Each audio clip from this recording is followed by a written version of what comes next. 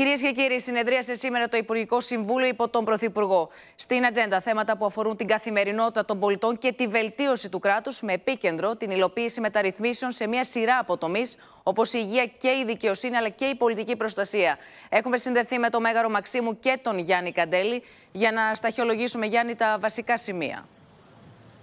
Ναι, μια Υπουργικό Συμβούλιο με μια πλούσια ατζέντα. Είναι ε, χαρακτηριστικό το ότι ακόμα δεν έχουν ολοκληρωθεί ε, οι εργασίες του Υπουργικού Συμβουλίου. Με, την, ε, με τον κύριο Μητσοτάκη να θέλει να δώσει έμφαση στα θέματα καθημερινότητας, αυτά που αφορούν τους πολίτες, διότι αυτά, όπως λένε συνεργάτες του, είναι τα, οποία τα θέματα στα οποία επικεντρώνεται η κυβέρνηση, συνεχίζοντας απερίσπαστη το μεταρρυθμιστικό της έργο.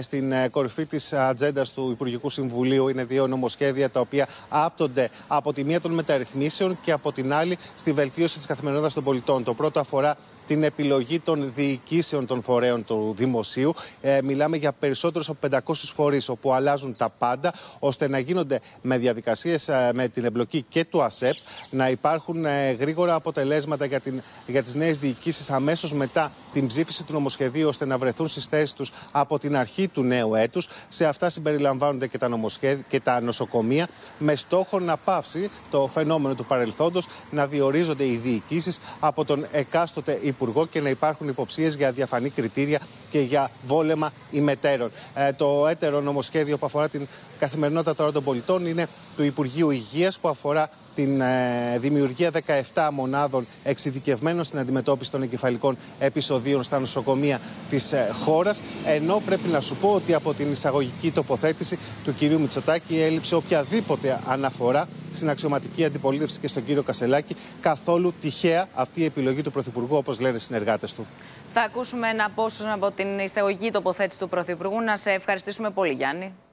Ξέρουμε ότι των πραγμάτων αναλώνουμε αρκετό χρόνο στη διαχείριση των, των κρίσεων. Ε, αυτό είναι πια μια ε, πραγματικότητα η οποία έχω την εντύπωση ότι θα μας συνοδεύει διαρκώς ε, αλλά δεν μπορεί να ακυρώνει τον κύριο πυρήνα του λόγου για τον οποίο μας εξέλεξαν οι πολίτες και μας έδωσαν αυτό το πολύ υψηλό ποσοστό που δεν είναι άλλο από το να εφαρμόσουμε μεγάλες και τολμηρές αλλαγές που θα στηρίξουν την ποιοτική ανάπτυξη, θα αντιμετωπίσουν την ανεργία, θα βελτιώσουν το επίπεδο ε, ζωής των πολιτών και θα παρέχουν καλύτερες ε, υπηρεσίες σε όλους τους κρίσιμους τομείς δημόσιων πολιτικών.